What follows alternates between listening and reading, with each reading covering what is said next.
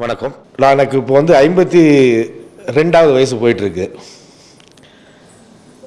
கிட்டத்தட்ட ஒரு பத்து பதினோரு வயசு இருக்கும்போதே நான் பெட்ரோல் வேலை கைவிடப்பட்டவன். அதுலேருந்து நான் தனியாக தான் வளர்ந்துட்டு இருக்கிறேன் எல்லோரும் இருக்காங்க. இருந்தாலும் எனக்கு வந்து பதினோரு வயசு இருக்கும்போது அப்பா வெளிநாடு போயிட்டார். அம்மாவுக்கு எனக்கும் பிறவியிலேருந்தே சேராது.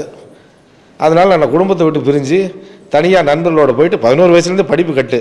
ஆனால் படித்தேன். படித்தேன்னா கரஸில் இன்ஸ்டியூஷனில் இப்படியே படித்து படித்து படித்து தான் டிப்ளமோ வரைக்கும் வந்தேன். பெட்ரோல் அளவிழப்பு இல்லை.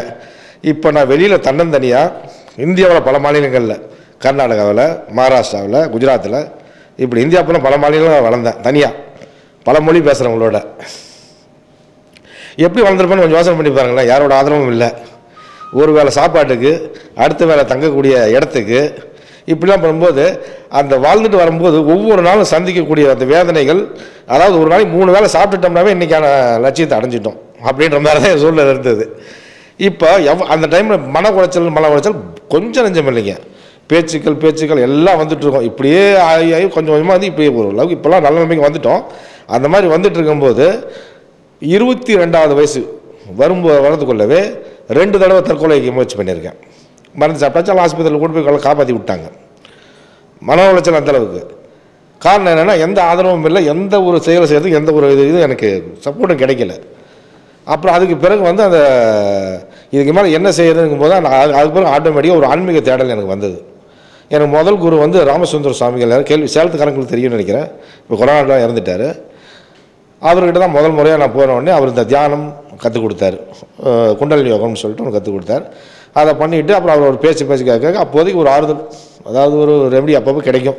ஒவ்வொரு வாரமும் சனிக்கிழமை சனிக்கிழமை போயிட்டு போயிட்டு வந்துட்டுருப்போம் அந்த பயிற்சி பண்ணிகிட்ருப்போம் அவர் கூட கொஞ்சம் காலம் போயிட்டு இருந்தது. அதுக்கப்புறம் வந்து அதில் வந்து ஒரு மனசுக்கு ஒரு ஆறுதலாக இருந்தது தவிர வந்து அந்த நேரத்தில். மற்றபடி எந்த சிக்கல் இந்த வீட்டுக்கு வந்துட்டு அந்த பிரச்சனை வந்துடும் தியானம் பண்ணால் தியானம் பண்ணுறதுக்கு நேரம் ஒரு போதையில் இருப்போம். அந்த தியானத்துலேருந்து வெளியே வந்தோன்னா மறுபடியும் எல்லா பிரச்சனையும் வந்து உட்காந்துக்கும் இப்படி தான் இருந்துகிட்ருக்கும் அதுக்கு பிறகு டாக்டர் ஃபஸ்லூர் ரஹ்மான் சொல்லிட்டு யாராவது கேள்விப்பட்டீங்களா கேள்விப்பட்டீங்களா அவருடைய மீட்டிங் வந்து தமிழ்நாட்டில் பல ஊர்களில் நடக்கும். சேலத்துலேயும் நடக்கும். சேலத்தில் வந்து கிட்டத்தட்ட அவரோட பத்து வருஷம் இணைஞ்சு அந்த குழு அரேஞ்ச் பண்ணுற அரேஞ்ச் பண்ண டீமில் நானும் ஒருத்தர். அது பத்து பேர் சேர்ந்து பண்ணிகிட்டு இருந்தோம். ஆ ஆமாம் ஆமாம் ஆமாம் அவங்க ஆமாம் ஆமாம் ஆமாம் ஆமாம் ஆமாம் அவர் என்னுடைய ஆசான்களில் மிக முக்கியமானவர். ல- லட்சங்கள் எல்லாம் வாங்கிட்டு இருப்பார். ஆமாம் அவர் நான் வந்து வாழும் சித்தராக நான் இன்றைக்கும் நான் மதிக்கிறேன் அவரை. அவரோட வகுப்பில் நான் போய் வளர்ந்துட்டுருப்போம் அவர் வந்து பல விஷயங்கள் சொல்லிகிட்டு இருப்பார். அவர்கிட்ட தான் தொடர்ந்து நான் பயணிச்சிட்டு இருக்கேன். அவர் அவங்ககிட்ட பயணிச்சிட்டு இருக்கும்போது அப்புறமும் வெளியில இங்கே ஆன்மீக தடங்களுக்கு வேறு வேறு இடங்களுக்குலாம் போயிட்டு இருப்போம். அந்த பயணத்துக்கு அளவே கிடையாது. சுற்றிக்கிட்டே இருப்போம். அப்போ வந்து அவர்கிட்ட வந்து பஸ்ல டாக்டர் சொல்லியிருப்பது என்ன தெரியுமா? பிரச்சனைகள் வந்ததுன்னா நம்மளால் ஒன்று இது ஐயா சொல்ல பிரச்சனை வந்து நம்ம ஒன்றும் செய்ய முடியாது. பிரார்த்தனை மேற்கொள்ளுங்கள். பொறுமையோடு இருங்கள். பொறுமையோடு இருங்கள் பிரார்த்தனை மேற்கொள்ளுங்கள். இதுதான் சொல்லுவார். அப்புறம் சும்மா இருப்பதே சுகம் அப்படின்னு சொல்லுவார். சும்மா இருக்கு இதை கேட்டு சும்மா இருந்தாலும் காசு எப்படி வரும்? ஒரு எந்த பிரச்சனை வந்தாலும் ஒரு தீர்வு வேணும் இல்லை தீர்வு வேணும்னாக்கா அது யோசனை பண்ணி மண்டையெல்லாம் மூலியமாக கலங்கி போயிடும் அதுக்கு விட தெரியாது. விட தெரியாத மாதிரி பிரச்சனை தான் நம்மகிட்ட வந்து விடும் அவன் என்ன பண்ணுறது அப்படின்னு சொல்லிட்டு இருந்துகிட்டு இருந்தோம். அப்போ இதுக்கும் குழப்பமே வந்துட்டு இருந்துச்சு. ஆனால் இருந்தாலும் மற்ற இடங்களுக்கு போகும்போது இது எவ்வளோ பரவாயில்ல அப்படின்ற மாதிரி எனக்கு இதுதான் ஆன்மீகத்தின் உச்சம் அப்படின்ற மாதிரி அங்கேயே ரொம்ப நாள் இருந்துகிட்டு இருந்தோம். பத்து வருஷம் அவர் இப்போ ஒரு வருஷத்துக்கு முன்னாடி தான் மறைஞ்சிட்டார். டாக்டர் ஃபஸ்ட் ஒரு வருஷம் முன்னாடி மறைஞ்சிட்டார். மறைஞ்சிட்டார். அதுக்கு பிறகு வந்து அப்போ அந்த அந்த மாதிரி பஸ்லூர் ரஹ்மான் டாக்டர் கூட இருக்கும்போதே சேலத்தினுள்ள வந்து ஹீலர் பாஸ்கர் தெரியும் எல்லாருக்கும் பெரும்பாலும். அவருடைய முதல் நிகழ்ச்சியை நானும் கண்ணனும் கண்ணன் ஒருத்தர் அவனாரப்பட்டில் இருக்கார். அவர் முதல் அவர் அப்போ பாப்புலாரிட்டி கிடையாது. ஹீலர் பாஸ்கர்னா யாருன்னே தெரியாது. அந்த மாதிரி இருக்கும்போது அவர் கூட்டிகிட்டு வந்து சேலத்தில் முதல் நிகழ்ச்சியை நாங்கள் நடத்தினோம். அப்போ வந்து அவர் அன்னைக்கு அந்த ஸ்பீச் கொடுத்துட்டு இருக்கும்போது தான் அந்த என்னுடைய குருநாதர் பகவத் ஐயான்னு சொல்லிட்டு அவர் மேடையில் சொன்னார். பகவத்தையா நான் அப்போல்லாம் பார்த்ததில் கேள்விப்பட்டதுமில்ல அவரை பற்றின அறிமுகம் தான் அவர் கொடுத்தார். எப்போ? நான் சொல்கிறது ஒரு பதினாலு வருஷம் இருக்கும். பதினாலு வருஷத்துக்கு முன்னாடி. அப்போ வந்து அவருடைய புஸ்தகங்கள் வந்து ஒரு ஞான விடுதலை ஒரு புஸ்தகம். அவர் அங்கே விற்றாங்க அதில் ஒரு புஸ்தகம் வாங்கிட்டு போனோன்னே அப்போ இருந்து வந்தோடனே அவருடைய புஸ் புக் புக்ஸ் மூலமாகவே அவருடைய கருத்துக்கள்லாம் வாங்க ஆரம்பித்தேன் எதுவுமே இது மாதிரி இப்போ சொல்லிகிட்டு இருக்கிற கருத்துக்கள் எதுவும் செய்ய தேவையில்லை. இது ஒரு மாதிரி கொஞ்சம் டிஃப்ரெண்ட்டாகவே எனக்கு பட்டுச்சு. ஆனால் இருந்தாலும் வந்து ஒரு அணித்தரமாக உள்ளே போய் ஒரு ஸ்ட்ராங்காக உட்காரல. சொல்கிறது கரெக்டு தான் அப்படின்னு சொல்லிட்டு. அகமும் புறமும் அதில் வந்து எனக்கு சரி அண்டர்ஸ்டாண்ட் ஆகாமல் இருந்தது. ஒரு பக்கம் புரிஞ்சாலும் புரியாத மாதிரி கொஞ்சம் ஒரு ஆசோலேஷன் இருந்துகிட்டு இருந்துச்சு. அப்புறம் இங்கே வந்த பிறகு தான் சரி போகணும் போகணும் என்ன இருந்தனால இப்போ இந்த நண்பர் நீங்கள் வா போகலாம் எப்படி? ஏற்கனவே ஒரு நாள் வந்து ஒரு வருஷத்துக்கு முன்னாடி கூட கேட்டு போனேன். சரவண என்கிட்ட கேட்டு போனேன். அவர் ஞாபகம் இருக்கு, மறந்துருப்பார்னு நினைக்கிறேன். டூ வீலர் வந்து நான் சேலத்தில் தான் இருக்கேன். சித்தா டாக்டர் நான். வந்து கேட்டு போனேன். அதுக்கு பிறகு வந்து சோர்பாகம் இல்லை ஆனால் இங்கே வந்த பிறகு என்னென்னா இவ்வளவு அலைஞ்சு இவ்வளோ புஸ்தகங்கள் படித்து இத்தனை இடங்களுக்கு பயிற்சி எடுத்து நான் தெரிஞ்சுக்கிட்ட உண்மை என்னென்னா ஒன்றும் செய்ய தேவையில்லைங்கிறது தான். ஒன்றும் செய்ய தேவையில்லைங்கிறத தெரிஞ்சுக்கிறதுக்கு இவ்வளோ பயணம் தேவைப்பட்டிருக்கு. இவ்வளோ புஸ்தகங்கள் படிக்க வேண்டியதாக இருக்குது. இப்போ என்ன பண்ண வேண்டியது? இதுக்கு மேலே போயிட்டு அதாவது நம்மளை தாக்கக்கூடியது எதுவுமே உண்மையில் சொல்லணும்னா என்னோட உடலை தாக்கினதை விட உள்ளத்தை தாக்கினது தான் அதிகம்.